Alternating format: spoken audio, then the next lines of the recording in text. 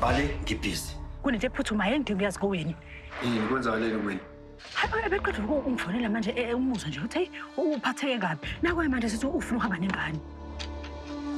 Sabona wena. Nekuphi? Si si sendlini. ngiyafika-ke la endlini uwina akekho ngempela. Cabanga ukuthi uthathe zonke iy'mpahla zakhe nje uwumuntu othuthile kahle kahle. Wajoja. Kanti eh, eh, khona into eyenzakeleni phakathi kwenu ababili kumele ngihambe. yebo sanibona. Ukhuluma nojojo kubheka la. Ngizocela ukuriport i-kidnapping. Wena mewana ngikubuye kupilina wena ngiletha ingane yabo.